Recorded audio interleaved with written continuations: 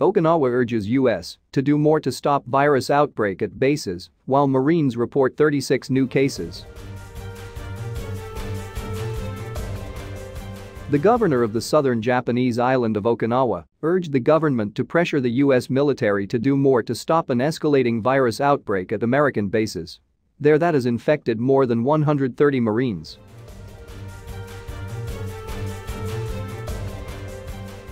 Governor Denny Tamaki flew to Tokyo to ask Defense Minister Taro Kono to share the concerns of local communities that host American bases and urge the U.S. military to be more cooperative with them.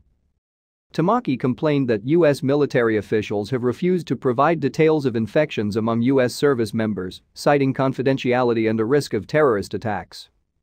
He said 36 more cases were reported at Camp Hansen, one of several U.S. bases on Okinawa hit by the outbreak, bringing the total to 136. Most of the cases are at Marine Corps Air Station Futenma, which is at the center of a relocation dispute. Others were at Camp Kinser, Camp McTureous and Kadena Air Base.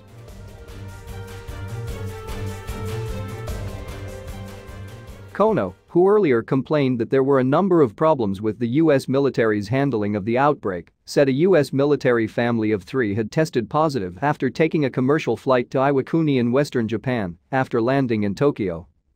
We need to have the U.S. military take concrete measures so that the infections on bases will not spread to the Japanese community. Kono said.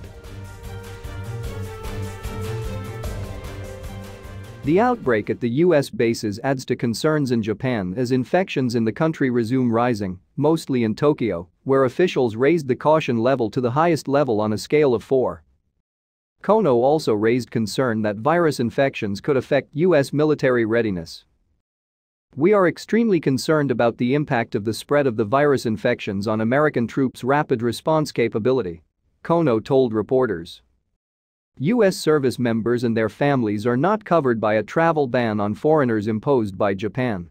Tamaki asked Foreign Minister Toshimitsu Motegi to revise the bilateral status of forces agreement so travel restrictions will also apply to U.S. service members.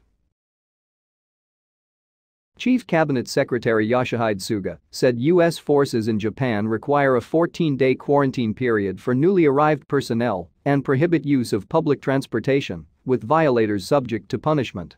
We are requesting that the US military in Japan implement the measures more strictly and thoroughly. He said. The US military has told Okinawa that all infected people have been isolated and the bases are under virtual lockdown, officials said. Okinawa is home to more than half of about 50,000 American troops based in Japan under a bilateral security pact. Residents have long been sensitive to base-related problems such as pollution, noise and crime. Okinawans also oppose a planned relocation of Futenma Air Base from its current site in a densely populated area in the south to a less populated area on the east coast and instead want the facility removed entirely from the island. Outside the bases, Okinawa has reported only about 150 virus cases Nationwide Japan has confirmed 20,000 cases, including about 1,000 deaths.